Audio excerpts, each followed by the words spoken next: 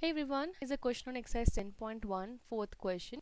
This is for mensuration chapter of class 6. The question is, what is the length of a wooden strip required to frame a photograph of a length and breadth 32 centimeter and 21 centimeter respectively? What you're asking is, there is a photo.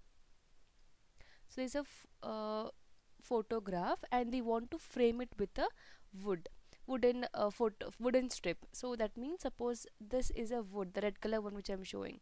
So how much wood is required to frame the photograph? That's what the question.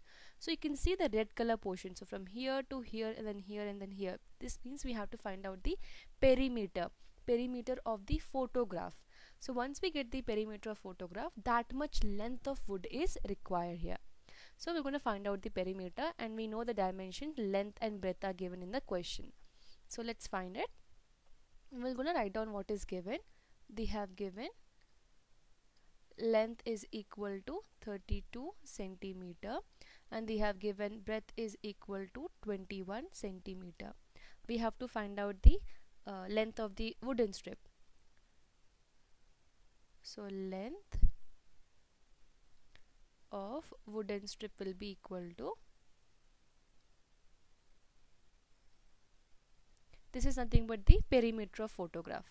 This is equal to perimeter of photograph. So we're going to write down the formula next. So this is perimeter of photograph. This is equal to 2 into L plus B. We know length and breadth from the question.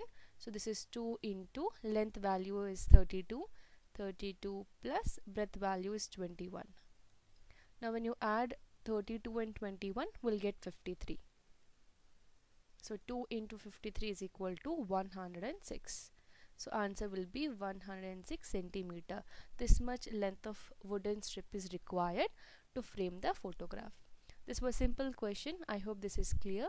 If in case you have any question or doubts you can drop a comment below. Thank you so much for watching